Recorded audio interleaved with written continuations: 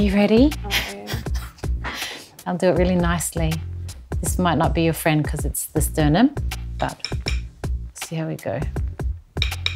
I just don't think the word tattoo really reflects the work that they did and what we're trying to do or trying to bring back today. Mm, someone's got a high pain threshold. Mm.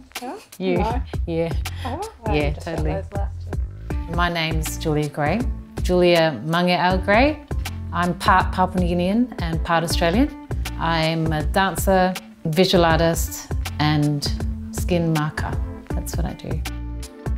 I should explain why I prefer to use the word um, marking as opposed to tattooing.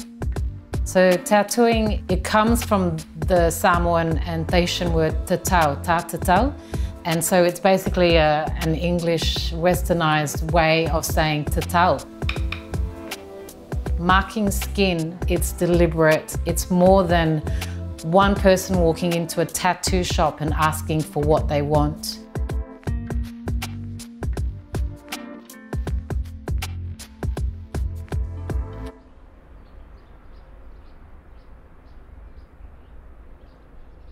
And There's no time. breastfeeding, I'm always on my knees and Thinks that needs expressing knee pads, breastfeeding. don't you?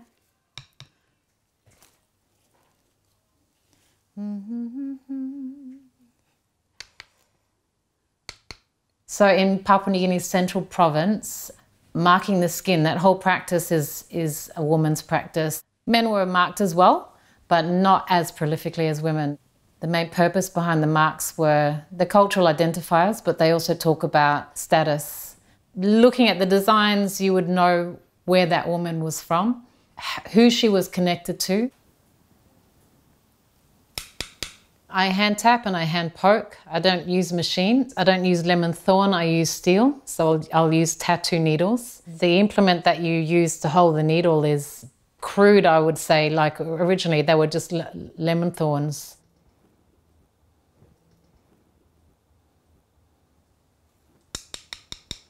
I'm open to marking anybody so long as they're open to the, the process and just sort of being open and going with it. I predominantly mark women of Melanesian background. Okay, let's have a look at you. I want to see if it's happened. Go like this. Yeah. And then just bring it to the side here. the marks need to balance, so it needs to move with them.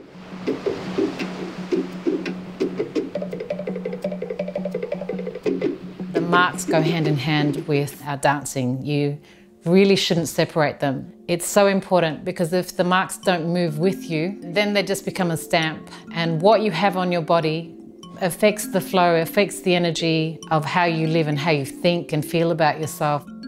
The practice of marking skin stopped with um, missionaries and colonization. Like it, it literally, it stopped in its tracks. Grandmothers were marked and then their daughters, not a mark, nothing on their skin. It's like blasphemy if you mark your skin.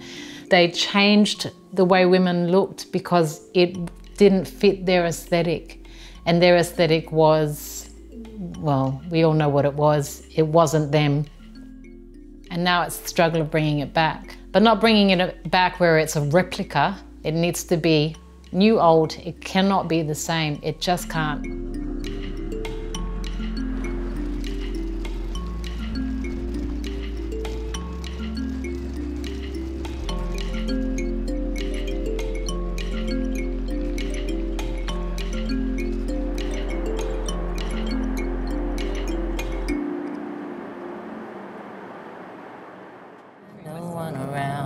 Ah, the Outback Club.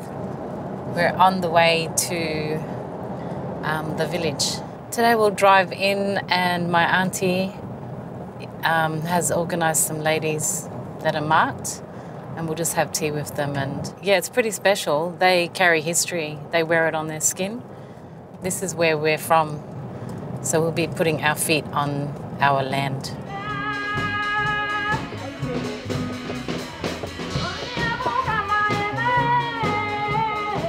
In old times, young girls were tattooed or were marked. By the time they were married, their marks were finished. The face was the last to be marked. or the chest if they'd had children. What they all have in common is marking a transition. That's part of what the work is now for, for Melanesian marks is really dealing with each woman as they are and talking about what they are transitioning from. And most of the time, most of the time it's learning to actually accept who they are. There's so many, you know, diverse kind of makeups of who we are today as Pacific women that when you speak to them individually, they all have one thing in common and they ask, Am I enough? Rough.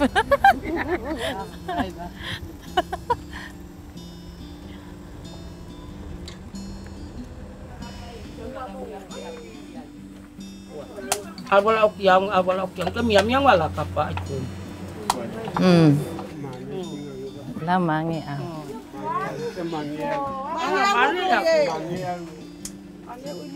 And shake hands.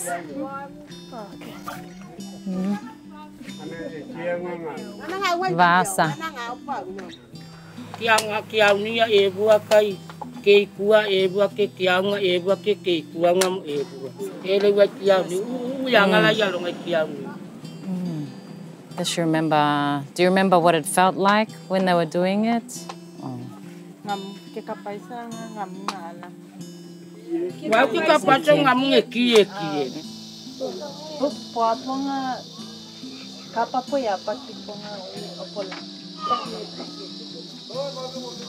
kapa po po po po isa nga ki apa ki mo ngana e lai mai pango ki pa pa pa no ke ke pa wa ngamo ko la lo pango la pra nga pa la ye mi pa pia wa pa i ke mi a lo ngai ngolai ba mai ki pa pa pa ke pa pa pia pa i pa ke mai nga pa pa pa e pia she's saying because the knowledge of Pagala kayang e kapa.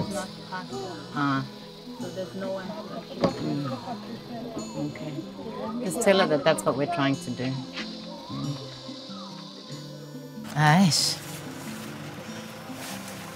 Special.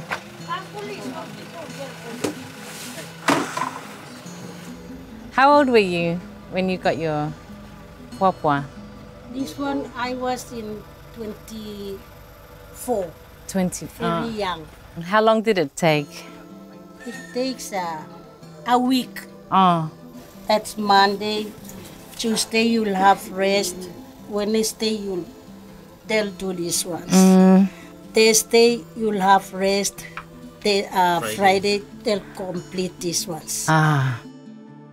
And so when you danced with your, Yeah, was it good or? it was very nice with you. Coconut was all Yeah. fried. So I think you're really, really strong. When I look at you and I think that was with thorns, I just, yeah, amazing.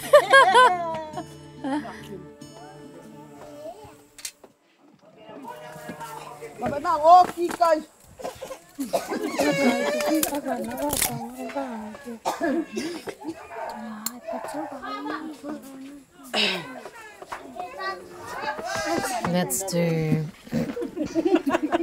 do that one, that one, that one, and that one. Yeah, those four lines. Let's get her wrists that it's up like that. The designs come from your what what you're surrounded in. And now that I've been doing this work for a long time, when people say, "What does it mean? What does it mean?" Everything to me and nothing to you if you can't read this. So I just don't have the patience to sit there and tell you what it means.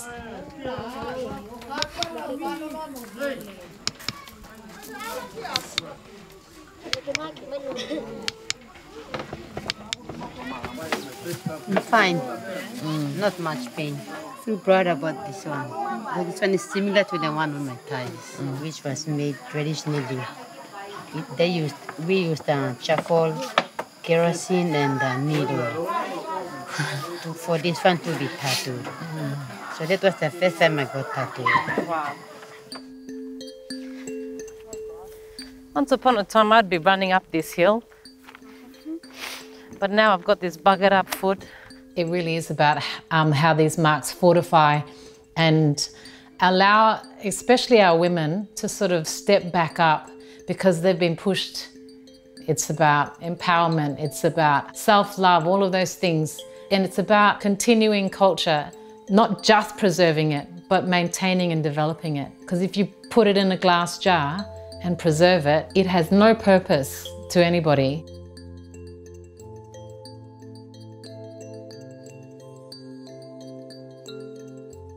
The reason why our women, why they want these marks again, it's like a really beautiful way of showing resistance, but also reconnecting and stating who they are.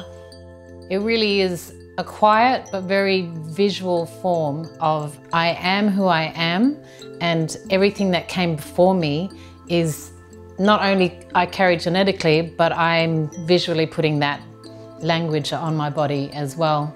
And for those that can't read what these marks mean, that's okay because these marks are not about what other people perceive.